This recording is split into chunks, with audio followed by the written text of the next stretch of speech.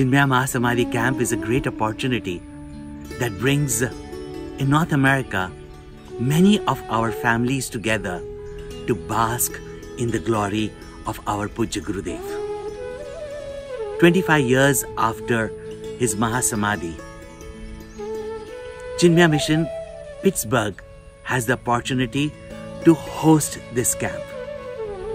It's going to be a camp full of love, joy, laughter, and devotion. This year, the theme is from the Srimad Bhagavatam, Sri Krishna Leela, something very dear to our Gurudev, something that we actually saw enacted in his life.